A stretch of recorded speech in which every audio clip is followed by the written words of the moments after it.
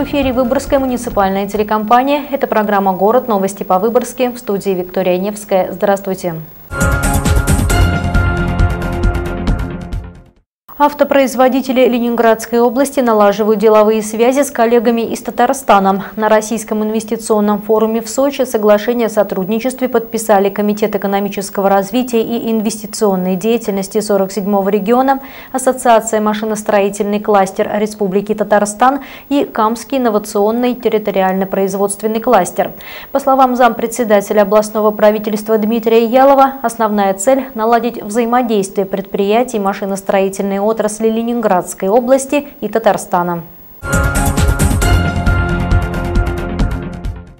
Уровень аварийности на выборгских дорогах снизился. При этом сбивать людей на пешеходных переходах стали чаще.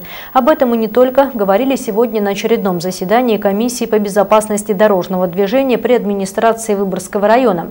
Тему продолжит Людмила Перминова. Заседание комиссии началось с доклада о дорожной обстановке. Как в прошлом году, так и за истекший период 2017-го количество ДТП в Выборгском районе снизилось. Меньше стало травмированных и погибших участников дорожного движения. Вместе Вместе с тем участились случаи наездов на людей на пешеходных переходах. В 2016 году их было совершено 27, в текущем – 8. Переломить ситуацию пока не позволяют даже профилактические мероприятия, регулярно проводимые сотрудниками ГИБДД. Председатель комиссии по безопасности дорожного движения Дмитрий Романенко предположил, что требуется дополнительное обустройство наиболее аварийных пешеходных переходов или передислокация дорожных знаков. Этот вопрос проработают в госавтоинспекции, после чего будет принято соответствующее решение. Еще одна немаловажная тема – перевозка организованных групп детей. Особую актуальность она приобрела после серии ДТП с участием автобусов, перевозивших юных пассажиров в разных регионах России. Чтобы не допустить подобных трагедий, России необходимо неукоснительно соблюдать требования законодательства, отметили участники заседания. Также довести до организации учреждений, осуществляющих деятельность в области образования, физической культуры и спорта, медицины, туристической, экскурсионной и иных сферах порядок и правила при организации ими перевозок организованных групп детей автобусами.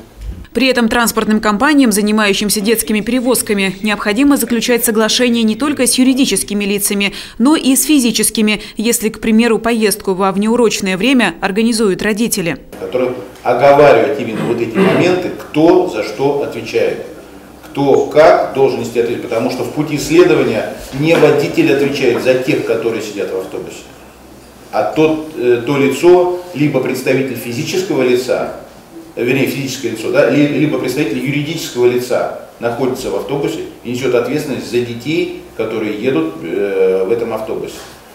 Перемещаются не по салону в нарушение требований, да, либо же они сидят на месте. На этом же заседании обсуждалась возможность переноса автобусной остановки, находящейся возле Выборгского техникума агропромышленного и лесного комплекса в Лазаревке. После того, как территорию учреждения обнесут забором, автобусу, следующему по девятому маршруту, возможно, придется прибывать на близлежащую территорию, куда именно будет определено в недалеком будущем. При этом максимально учтут интересы жителей промзоны и студентов техникума, заметил Дмитрий Романенко. Затем члены комиссии рассмотрели предложение нескольких юридических лиц лиц о создании парковок для инвалидов. Скорее всего, по два места появится у дома номер два на проспекте Ленина и у Дворца культуры. Еще одно парковочное место для людей с ограниченными возможностями планируется организовать у городского дома культуры и у школы номер 13. Эти вопросы проработают детально, после чего примут окончательное решение.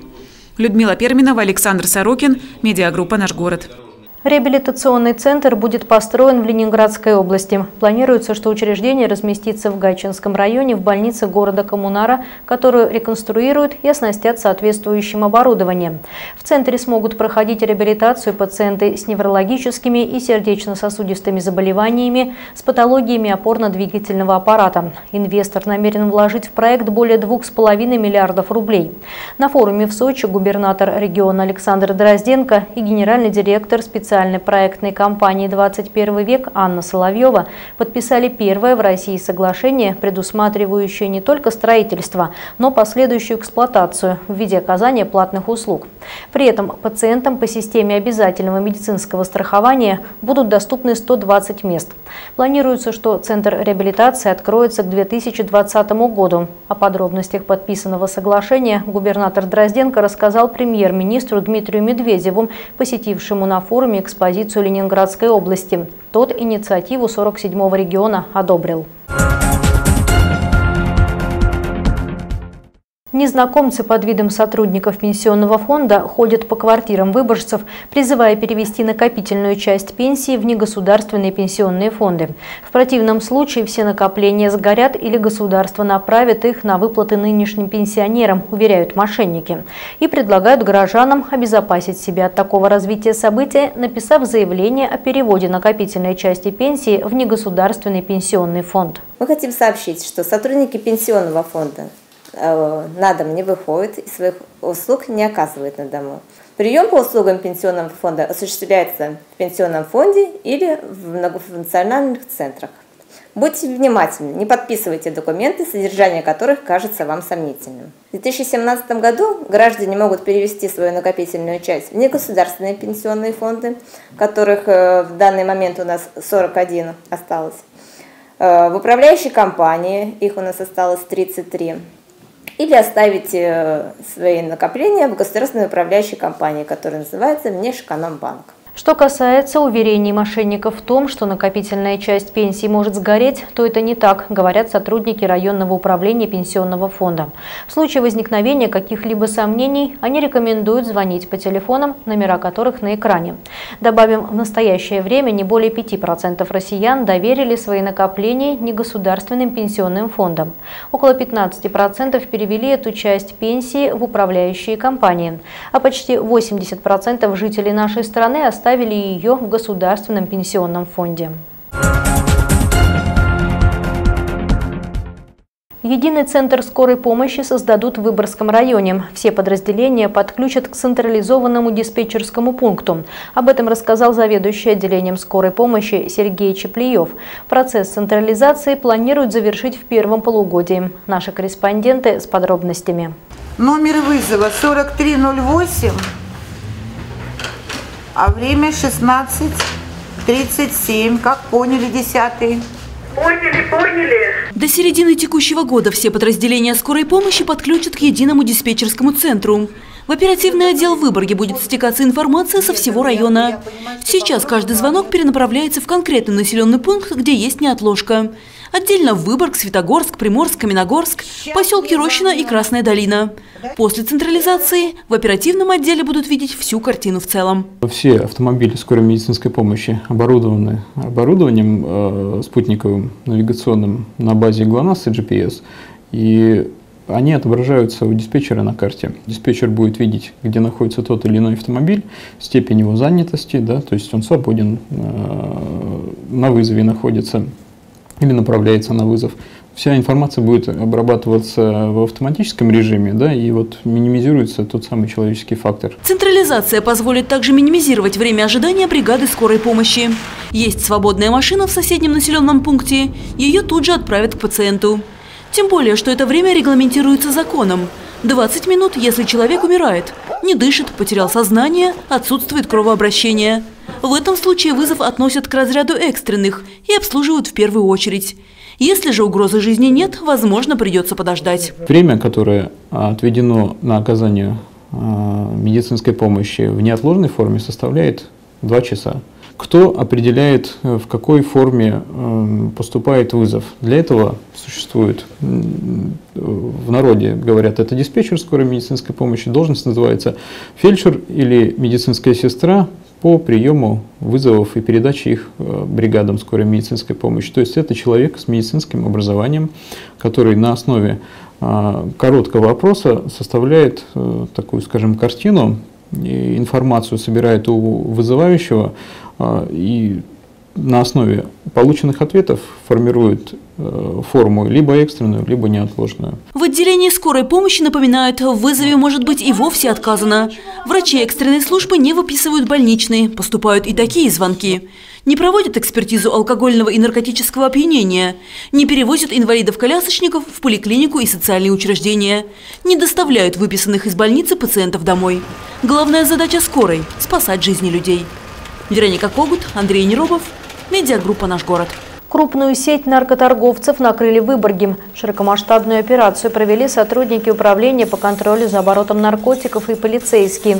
Обыски прошли сразу по нескольким адресам в разных микрорайонах города.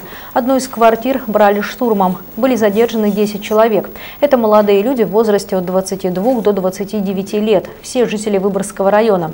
Их подозревают в торговле наркотиками в особо крупном размере. Некоторые ранее уже были судимы по статьям, связанным со сбытом за запрещенных веществ. Как сообщает пресс-служба Главного управления МВД по Петербургу и области, группа имела четкую иерархию, были распределены роли между всеми участниками. Использовала банда меры конспирации. В результате обысков изъято около 700 граммов психотропного вещества и полкилограмма курительной смеси, так называемые спайсы, мобильные телефоны, банковские карты, весы и упаковочный материал.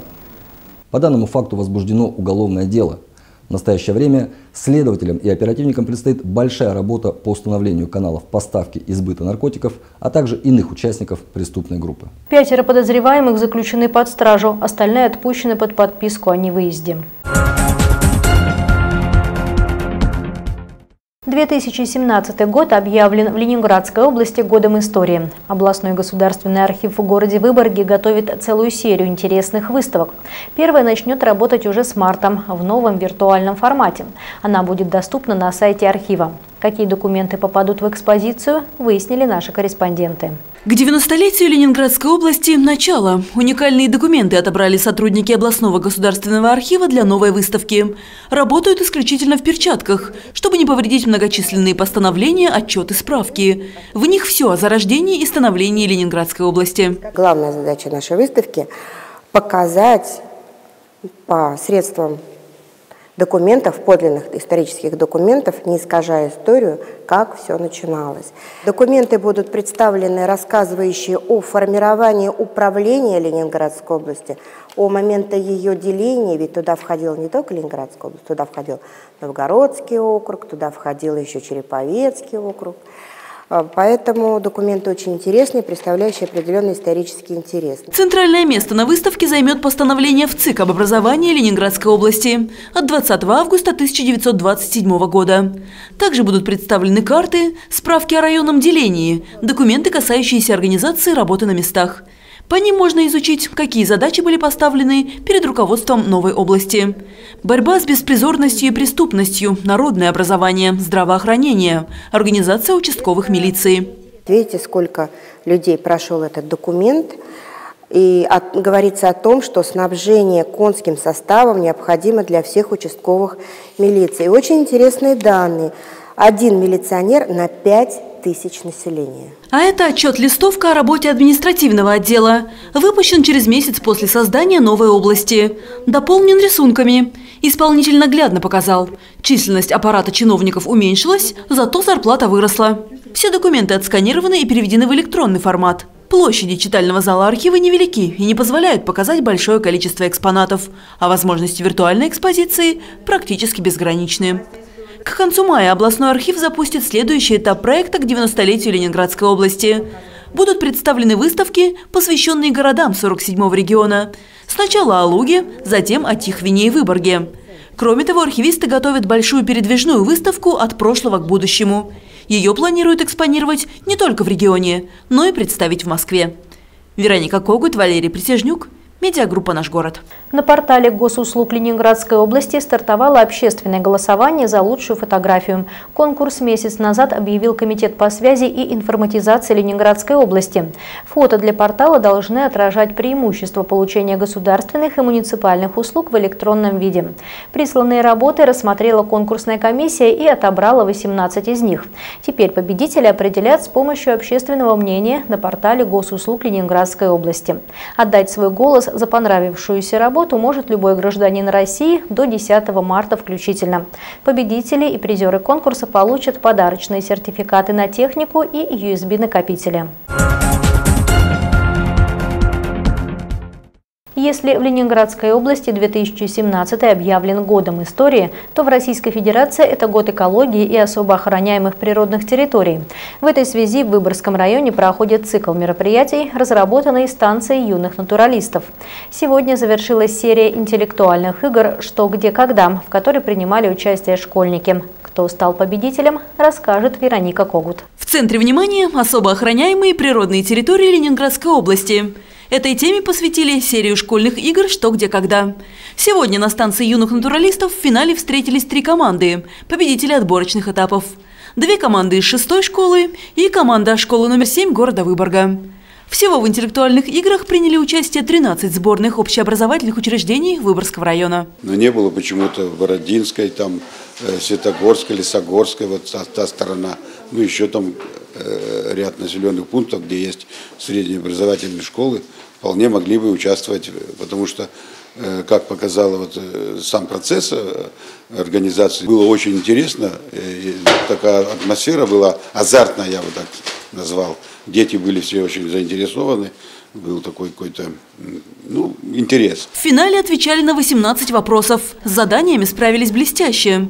Отличную подготовку высоко оценила жюри, специалисты Северо-Западного лесничества, станции юных натуралистов и профильного комитета администрации. По итогам заключительной игры третье место, набрав 15 баллов из 18 возможных, заняла команда школы номер 7. Всего на полбалла ее опередила команда станции юных натуралистов шестой школы. Первое место в интеллектуальных играх заняла команда школьного лесничества «Друзья леса», тоже из школы номер 6. 17,5 баллов. Полбалла сняли не за ошибку. Школьники просто не успели за отведенные две минуты написать полный ответ. Готовиться было очень интересно, занимательно. Игра была интересная, немного напряженная. Вопросов с затруднениями, в общем-то, не было. Я бы советовала всем участвовать в таких занимательных играх потому что это саморазвитие, это узнавать что-то о своей природе, о своем лесе. Череду мероприятий, организованных станцией юных натуралистов в год экологии, продолжит районный конкурс экологической сказки и конкурс «Юный исследователь». Вероника Когут, Валерий Присяжнюк, медиагруппа «Наш город». В библиотеке Алта продолжаются встречи выборгских медиков с населением. Очередная состоится 1 марта и будет посвящена Международному дню защиты здоровья уха и слуха. С лекцией выступит врач высшей категории, отоларинголог Выборгской межрайонной больницы Владимир Андрианов. Он расскажет о том, как работают органы слуха, что может вызвать глухоту, как защитить слух. По окончании встречи Владимир Андрианов ответит на вопросы зрителей. Начнется мероприятие в 16 часов, вход свободный. Thank you.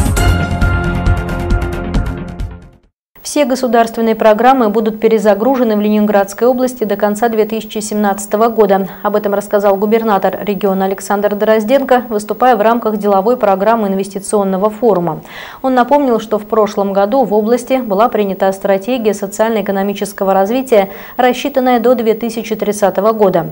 В ее основу легли шесть базовых приоритетов – индустриальное лидерство, комфортные поселения, логистическое развитие, доступное здравоохранение, качество качественное образование, продовольственная безопасность. Госпрограммы будут скорректированы с учетом этих приоритетов. Официальный курс валют на 1 марта, установленный Центральным банком Российской Федерации, составляет евро 61 рубль 39 копеек, доллар 57 рублей 96 копеек. Хоккейный турнир памяти Льва Копейкина в десятый раз состоялся в Выборге. Соревнования прошли на стадионах «Авангард» и «Локомотив». Участие в них приняли четыре команды из Выборга. В первой игре «Легион» разбил реальных кабанов со счетом 6-0. Во втором поединке скрестили клюшки хоккеисты «Фаворита» и «Фортуны». Опытные фаворитовцы одержали убедительную победу с результатом 7-2.